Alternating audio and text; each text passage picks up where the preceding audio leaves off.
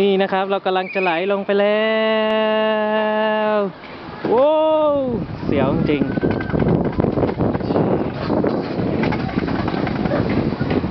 ต้องบังคับทิศทางกันเองนะครับ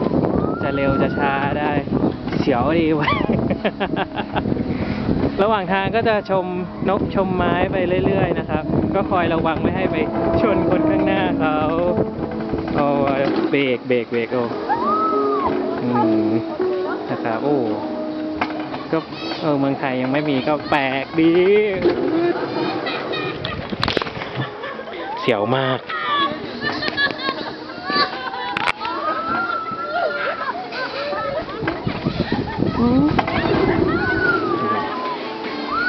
น้องเขาก็เสียวมากเลยฮะ